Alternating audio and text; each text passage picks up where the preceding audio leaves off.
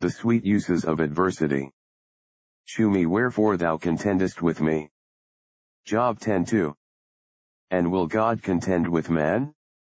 If God be angry, can he not take away the breath of his nostrils, and lay him low in the dust of earth? If the heart of the Almighty be moved unto hot displeasure, can he not speak in his anger, and will not the soul of man sink into the lowest hell? Will God contend, will he set himself in battle array against his creature? And such a creature? The creature of an hour, a thing that is not, that is here today and gone tomorrow. Will the Almighty contend with the nothingness of man? Will the everlasting God take up the weapons of war, and go out to fight against the insect of a day? Well might we cry out to him, after whom is my Lord the King gone forth? After a dead dog. After a flea. Wilt thou hunt the partridge on the mountains with an army, and wilt thou go forth against a gnat with shield and spear? Shall the everlasting God who fainteth not, neither is weary, at whose reproof the pillars of heaven's starry roof tremble and start, will he become competent with a creature?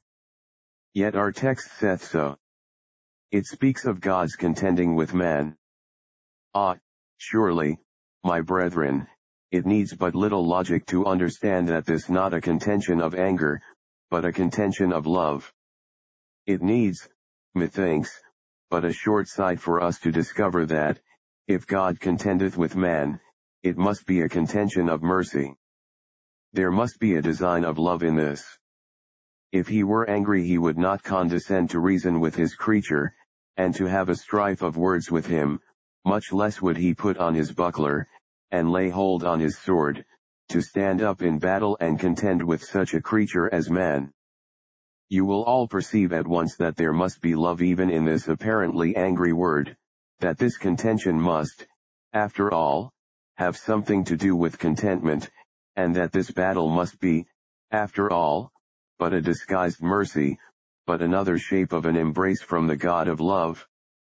Carry this consoling reflection in your thoughts while I am preaching to you, and if any of you are saying today, Shew me wherefore thou contendest with me, the very fact of God contending with you at all, the fact that he has not consumed you, that he has not smitten you to the lowest hell, may thus, at the very outset, afford consolation and hope. Now, I propose to address myself to the two classes of persons who are making use of this question. First, I shall speak to the tried saint, and then I shall speak to the seeking sinner, who has been seeking peace and pardon through Christ, but who has not as yet found it, but, on the contrary, has been buffeted by the law, and driven away from the mercy seat in despair. First, then, to the child of God. I have, I know I have, in this great assembly, some who have come to Job's position. They are saying, My soul is weary of my life, I will leave my complaint upon myself, I will speak in the bitterness of my soul. I will say unto God, Do not condemn me, shew me wherefore thou contendest with me. Sometimes to question God is wicked. As the men of Beth Shemesh were smitten with death when they dared to lift up the lid of the ark and look into its sacred mysteries, so is it often death to our faith to question God. It often happens that the sorest plagues come upon us on account of an impudent curiosity which longs to pry between the folded leaves of God's great counsel book, and find out the reason for his mysterious providences. But, methinks this is a question that may be asked. Inquiring here will not be merely curious. For there will be a practical effect following therefrom. Tried Saint T follow me while I seek to look into this mystery and answer your question, and I pray you, select that one of several answers which I shall propound, which shall, to your judgment, enlightened by the Holy Spirit, seem to be the right one. You have been tried by trouble after trouble. Business runs cross against you, sickness is never out of your house, while in your own person you are the continual subject of a sad depression of spirit. It seems as if God were contending with you, and you are asking, why is this shew me wherefore thou contendest with me? 1. My first answer on God's part, my brother, is this, it may be that God is contending with thee that he may show his own power in upholding thee. God delighteth in his saints, and when a man delights in his child, if it be a child noted for its brightness of intellect, he delights to see it put through hard questions, because he knows that it will be able to answer them all. So God glories in his children. He loves to hear them tried, that the whole world may see that there is none like them on the face of the earth, and even Satan may be compelled before he can find an accusation against them, to resort to his inexhaustible fund of lies. Sometimes God on purpose puts his children in the midst of this world's trials. On the right, left, before, behind, they are surrounded. Within and without the battle rages. But there stands the child of God, calm amidst the bewildering cry, confident of victory. And then the Lord pointeth joyously to his saint, and he saith, See, Satan, he is more than a match for thee. Weak though he is, yet through my power, he all things can perform.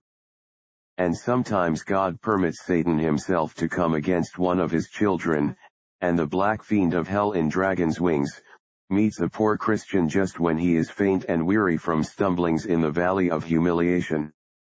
The fight is long and terrible, and, well it may be, for it is a worm combating with the dragon.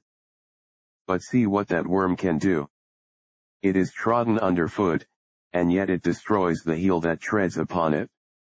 When the Christian is cast down he utters a cry, Rejoice not over me, O mine enemy, for though I fall yet shall I rise again. And so God pointeth to his child and with, See there. See what I can do. I can make flesh and blood more mighty than the most cunning spirit, I can make poor feeble foolish man, more than a match for all the craft and might of Satan.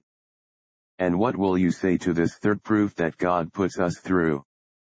Sometimes God doth as it were, himself enter into the lists. Oh, let us wonder to tell it. God to prove the strength of faith, sometimes himself makes war on faith. Think not that this is a stretch of the imagination. It is plain simple fact. Have ye never heard of the brook Jabbok, and of that angel-clothed God who fought with Jacob there, and permitted Jacob to prevail? What was this for? It was this. Thus had God determined, I will strengthen the creature so much, that I will permit it to overcome its creator. Oh, what noble work is this, that while God is casting down his child with one hand, he should be holding him up with the other letting a measure of omnipotence fall on him to crush him, while the like omnipotence supports him under the tremendous load. The Lord shows the world, see what faith can do. Well does Hart sing of faith. It treads on the world and on hell. It vanquishes death and despair. And, oh, let us wonder to tell. It overcomes heaven by prayer. This is why God contends with thee to glorify himself, by showing to angels, to men, to devils, how he can put such strength into poor puny man, that he can contend with his maker, and become a prevailing prince like Israel, who as a prince had power of God, and prevailed. This, then, may be the first reason. To let me give you a second answer. Perhaps, O tried soul, the Lord is doing this to develop thy graces. There are some of thy graces that would never be discovered if it were not for thy trials. Dost thou not know that thy faith never looks so grand in summer weather, as it does in winter?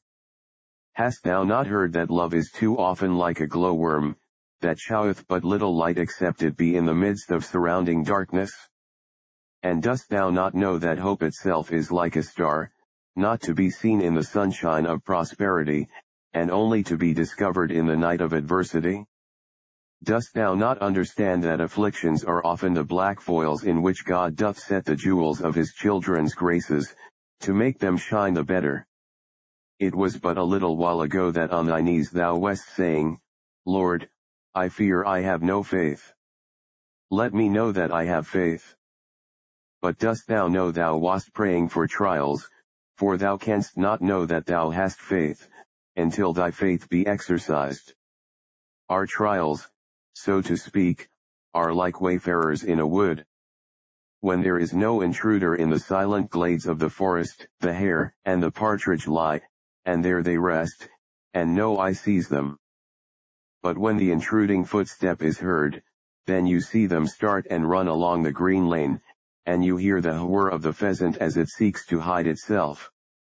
Now, our trials are intruders upon our heart's rest, our graces start up and we discover them. They had lain in their lair, they had slept in their forms, they lead rested in their nests, unless these intruding trials had startled them from their places.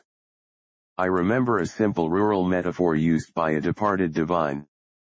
He says he was never very skillful at birds nesting in the summertime, but he could always find birds' nests in the winter. Now, it often happens that when a man has but little grace, you can scarcely see it when the leaves of his prosperity are on him, but let the winter's blast come and sweep away his withered leaves, and then you discover his graces.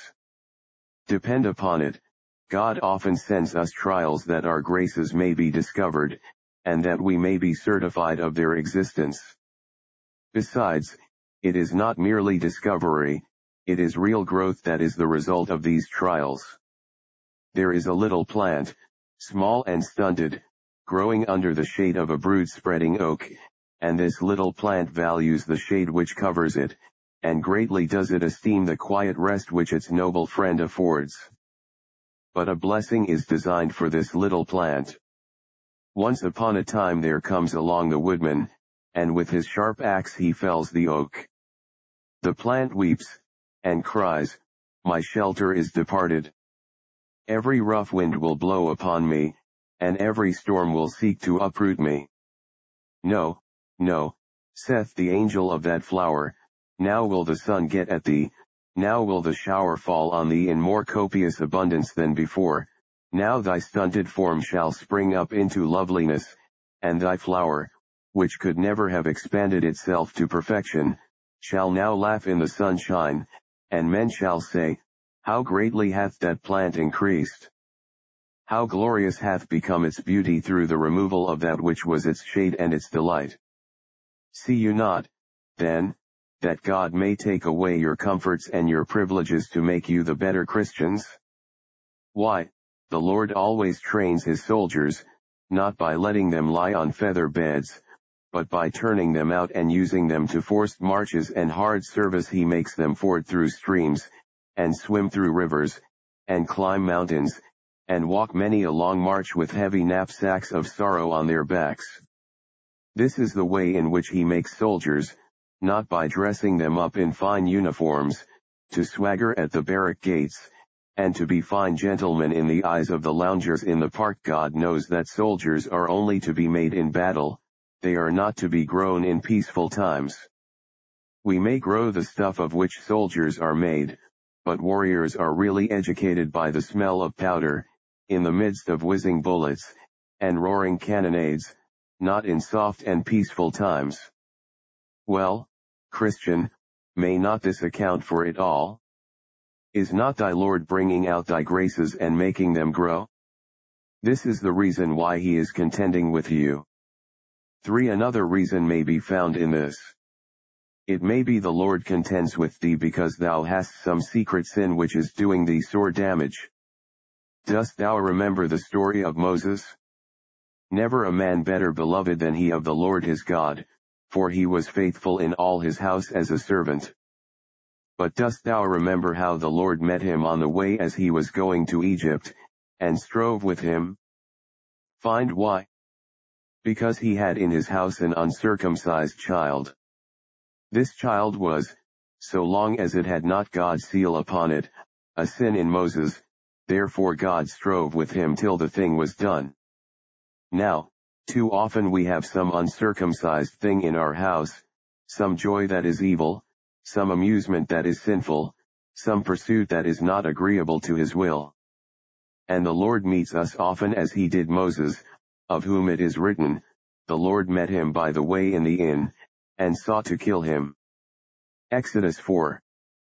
24 Now search and look, for if the consolations of God be small with thee, there is some secret sin within.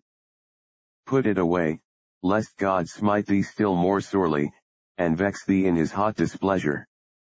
Trials often discover sins, sins we should never have found out if it had not been for them. We know that the houses in Russia are very greatly infested with rats and mice. Perhaps a stranger would scarcely notice them at first, but the time when you discover them is when the house is on fire, then they pour out in multitudes. And so doth God sometimes burn up our comforts to make our hidden sins run out, and then he enables us to knock them on the head and get rid of them. That may be the reason of your trial, to put an end to some long fostered sin. It may be, too, that in this way God would prevent some future sin, some sin hidden from thine own eyes into which thou wouldst soon fall if it were not for his troubling thee by his providence. There was a fair ship which belonged to the great master of the seas, it was about to sail from the port of grace to the haven of glory. Ere it left the shore the great master said, Mariners, be brave. Captain, be thou bold. For not a hair of your head shall perish, I will bring you safely to your desired haven. The angel of the winds is commissioned to take care of you on your way. The ship sailed right merrily with its streamers flying in the air. It floated along at a swift rate with a fair wind for many and many a day. But once upon a time there came a hurricane which drove them from the course, strained their mast until it bent as if it must snap in twain. The sail was gone to ribbons, the sailors were alarmed and the captain himself trembled. They had lost their course. They were out of the right track, they said, and they mourned exceedingly. When the day dawned the waves were quiet, and the angel of the winds appeared, and they spoke unto him, and said, O angel, wast thou not bidden to take charge of us, and preserve us on our journeys? He answered, It was even so, and I have done it. You were steering on right confidently, and you knew not that a little ahead of your vessel lay a quicksand upon which she would be wrecked and swallowed up quick. I saw that there was no way for your escape but to drive you from your course. See, I have done as it was commanded me. Go on your way. Ah, this is a parable of our Lord's dealings with us. He often drives us from our smooth course which we thought was the right track to heaven. But there is a secret reason for it, there is a quicksand ahead that is not marked in the chart. We know nothing about it, but God seeth it, and he will not permit this fair vessel, which he has himself insured, to be stranded anywhere, he will bring it safely to its desired haven. For I have now another reason to give, but it is one which some of you will not understand, some however will. Beloved, ye remember that it is written, that we must bear the image of the heavenly, namely, the image of Christ. As he was in this world even so must we be. We must have fellowship with him in his sufferings, that we may be conformable unto his death. Hast thou never thought that none can be like the man of sorrow unless they have sorrows too? How can you be like unto him, who sweat as it were great drops of blood, if you do not sometimes say, My soul is exceeding sorrowful, even unto death? Think not, O well-beloved, that thou canst be like the thorn-crowned head, and yet never feel the thorn? Canst thou be like thy dying Lord, and yet be uncrucified? Must thy hand be without a nail, and thy foot without a wound? Canst thou be like him, unless like him thou art compelled to say, My God, my God, why hast thou forsaken me? God is chiseling you, you are but a rough block, he is making you into the image of Christ, and that sharp chisel is taking away much which prevents your being like him. Must he who is our head be marred in his visage by reason of grief, and must we forever rejoice and sing? It cannot be. The heirs of salvation, I know from his word. Through much tribulation must follow their Lord. Sweet is the affliction which gives us fellowship with Christ. Blessed is the plough that ploughs deep furrows, if the furrows be like his. Blessed is the mouth that spits upon us, if the spittle be from the same cause as that which defiled his face. Blessed are the nails and thorns, and vinegar, and spear, if they but make us somewhat like to him, in whose glory we shall be partakers when we shall see him as he is. This is a matter which all cannot understand, for it is a path which no unhallowed foot hath trodden, and no careless eye hath so much as seen it. But the true believer can rejoice therein, for he has had fellowship with Christ in his sufferings. 5. To the child of God I shall give only one more reason. The Lord, it may be, contendeth with thee, my brother, to humble thee. We are all too proud, the humblest of us do but approach to the door of true humility. We are too proud, for pride, I suppose, runs in our very veins, and is not to be gotten out of us any more than the marrow from our bones. We shall have many blows before we are brought down to the right mark, and it is because we are so continually getting up that God is so continually putting us down again. Besides, don't you feel, in looking back on your past troubles, that you have after all been best when you have had troubles? I can truly say, there is a mournfulness in joy, and there is a sweet joy in sorrow. I do not know how it is, but that bitter wine of sorrow, when you once get it down gives such a warmth to the inner man as even the wine of Lebanon can scarce afford. It acts with such a tonic influence upon the whole system, that the very veins begin to thrill as the blood leaps therein. Strange influence. I am no physician, but yet I know that my sweet cup often leaves bitterness on the palate, and my bitter cup always leaves a sweet flavor in the mouth. There is a sweet joy in sorrow I cannot understand. There is music in this harp with its strings all unstrung and broken. There are a few notes I hear from this mournful lute that I never get from the loud-sounding trumpet. Softness and melody we get from the wail of sorrow, which we never get from the song of joy. Must we not account for this by the fact that in our troubles we live nearer to God? Our joy is like the wave as it dashes upon the shore, it throws us on the earth. But our sorrows are like that receding wave which sucks us back again into the great depth of Godhead. We should have been stranded and left high and dry upon the shore if it had not been for that receding wave, that ebbing of our prosperity, which carried us back to our Father and to our God again. Blessed affliction. It has brought us to the mercy seat, given life to prayer, enkindled love, strengthened faith, brought Christ into the furnace with us, and then brought us out of the furnace to live with Christ more joyously than before. Surely, I cannot answer this question better. If I have not hit upon the right reason, search, and look my dearly beloved, for the reason is not far off if ye but look for it, the reason why he contendeth with you. I have thus done with the saints, I shall now turn myself to address the seeking sinner, who is wondering that he has found no peace and comfort. By the way, running a little apart from the subject, I heard a brother saying the other evening in describing his experience, that before he was converted he was never sick, never had an affliction at all, but from the very hour when he became converted, he found that trials and troubles came upon him very thick. I have been thinking of that ever since, and I think I have found a reason for it. When we are converted, it is the time of the singing of birds, but do you know the time of the singing of birds is the time of the pruning of vines, and as sure as the time of the singing of birds is come the time of the pruning of vines is come also. God begins to try us as soon as he begins to make our soul sing. This is not running away from the subject. I thought it was. It has just brought me to address the sinner. You have come here this morning saying to yourself, Sir, not long ago I was awakened to a sense of my lost estate. as I was directed I went home and sought mercy in prayer. From that day till now I have never ceased to pray. But, alas!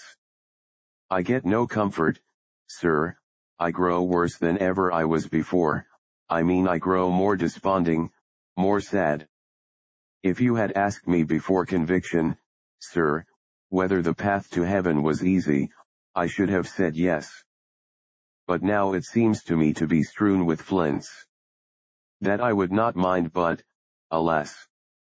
Methinks the gate is shut which lies at the end of the road, for I have knocked, and it has never opened, I have asked, and I have not received, I have sought, and I have not found. In fact, instead of getting peace I receive terror. God is contending with me. Can you tell me, sir, why it is? I will try to answer the question, God helping me. 1. My first answer shall be this. Perhaps, my dear hearer, God is contending with you for a while, because as yet you are not thoroughly awakened.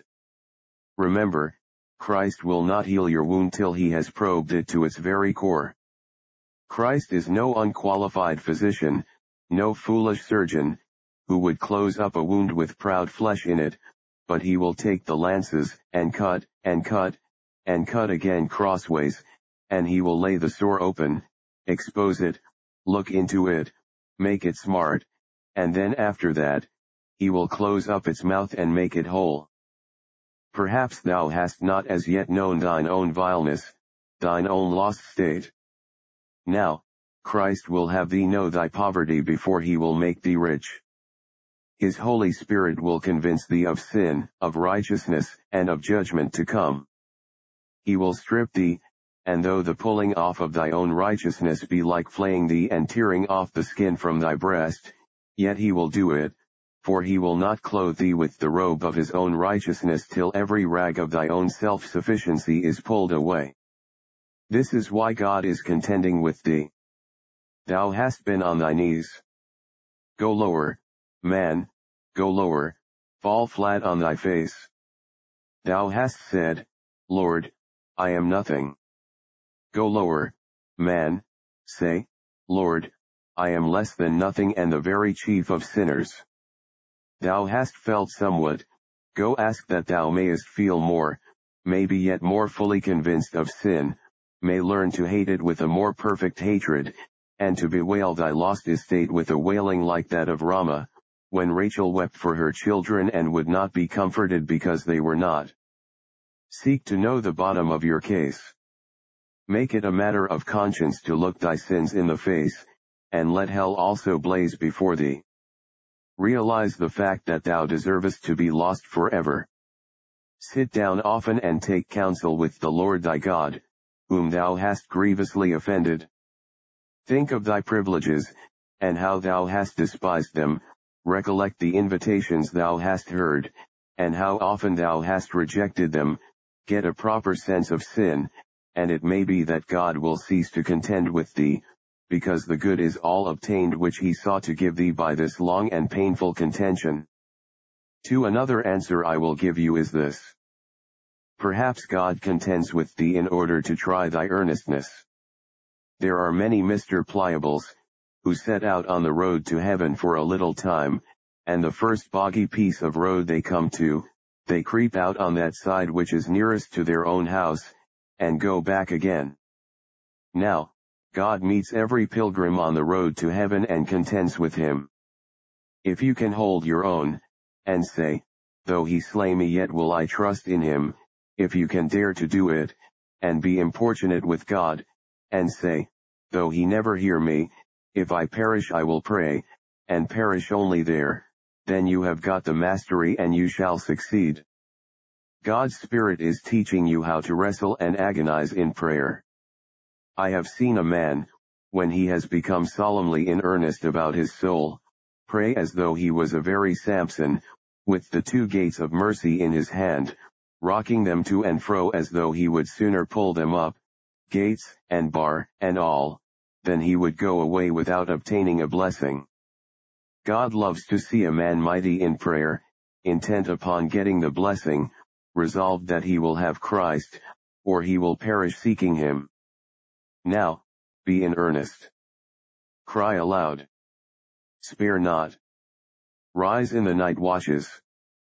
Pour out your heart like water before the Lord, for he will answer thee when he hath heard the voice of thy crying, he will hearken to thy supplication and give thee the desire of thy heart. 3 Yet, again, another matter. May it not be, my dear hearers, that the reason why God contends with you and does not give you peace is, because you are harboring some one sin now, I will not say what it is, I have known a man solemnly under conviction of sin, but the company which he kept on market day was of such a cast, that until he was separated entirely from his companions, it was not possible he should have peace. I do not know what your peculiar besetting sin may be.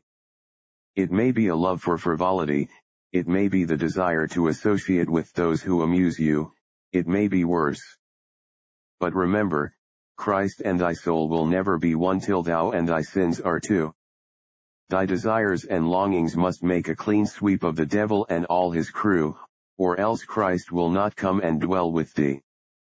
Well, says one, but I cannot be perfect. No, but you cannot find peace till you desire to be. Wherever you harbor a sin, there you harbor misery. One sin willfully indulged in, and not forsaken by true repentance, will destroy the soul. Sins given up are like goods cast out at sea by the mariners in days of storm, they lighten the ship, and the ship will never float till you have thrown all your sins overboard. There is no hope whatever for you till you can truly say. Water consists not with thy love. Oh help me to resign. The dearest idol I have known. Whatever that idol be. Help me to tear it from its throne. And worship only thee. For then drawing near to a conclusion let me have your most solemn attention while I give one more hint as to the reason why you have not yet found peace. My dear hearers, perhaps it is because you do not thoroughly understand the plan of salvation. I do feel that all ministers, and here perhaps, I am as great a sinner as any other, and I condemn myself while I chastise others, we all of us do in some way or other, I fear, help to dim the luster of God's grace, as manifested in the cross of Christ. Often am I afraid lest I should prefer Calvinism to Calvary, lest I should put the sinner's sense of need like a quickset hedge round the cross, and keep the poor sinner from getting as near as he would to the bleeding Lamb of God. Ah, my dear hearers, remember if you would be saved, your salvation comes wholly and entirely from Jesus Christ, the dying Son of God. View him yonder, sinner, sweating in the garden. See the red drops of blood as they fall from that dear face. Oh, see him sinner, see him in Pilate's hall. View the streams of gore as they gush from those lacerated shoulders. See him, sinner, see him on his cross. View that head still marked with the wounds with which the thorns pierced his temples. Oh, view that face emaciated and marred. See the spittle still hanging there, the spittle of cruel mockers. See the eyes floating in tears with languid pity. Look, too, at those hands, and view them as they stream like founts of blood. Oh, stand and listen while he cries, Lama Sabachthani. Sinner, thy life is in him that died, thy healing is in yonder wounds, thy salvation is in his destruction. Oh, says one, but I cannot believe. Ah, brother, that was once my mournful cry. But I will tell you how I came to believe. Once upon a time, I was trying to make myself believe, and a voice whispered, Vain man, vain man, if thou wouldst believe, come, and see. Then the Holy Spirit led me by the hand to a solitary place. And while I stood there, suddenly there appeared before me one upon his cross. I looked up, I had then no faith. I saw his eyes suffused with tears, and the blood still flowing. I saw his enemies about him hunting him to his grave, I marked his miseries unutterable, I heard the groaning which cannot be described, and as I looked up, he opened his eyes and said to me, The Son of Man is come into the world to seek and to save that which was lost.